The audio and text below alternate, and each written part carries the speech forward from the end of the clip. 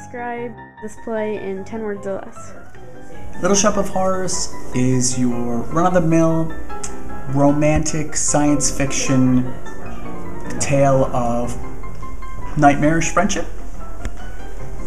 Okay.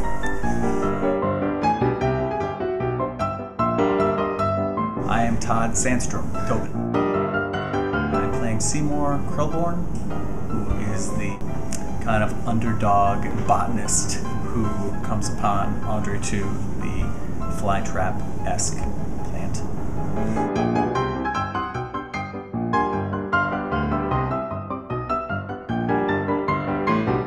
My name is Jen Ryan Gelzleichter. I'm the pro- one of the producers of Little Shop of Horrors, which is going up at the Footlight Club this September. How would you describe Little Shop of Horrors? Oh, if you only gave me 10 words, that would be really hard. Um, I guess I would have to say that Little Shop of Horrors is a.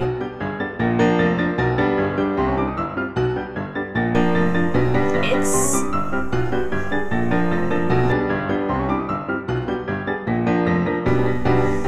Dude, 10 words is hard. Tell me about it, man! Sorry. I'll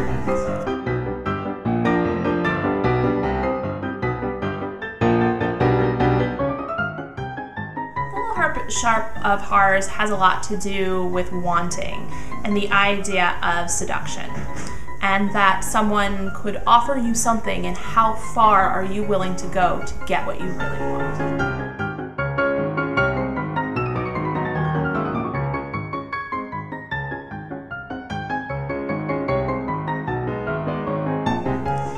Well, the um, production staff is fantastic.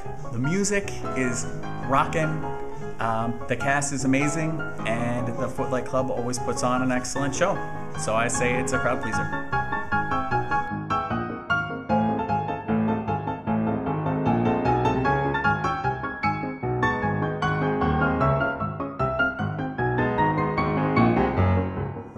Feed me some more! Yeah, I don't do that well.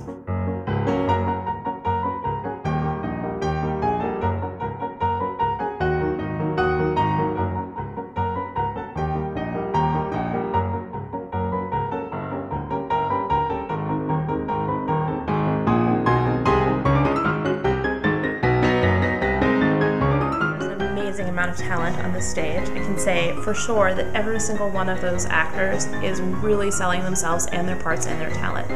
We have fantastic director, fantastic musical director, fantastic pit, fantastic production team, and it is a show about a plant that eats blood. Why would you not want to go to that?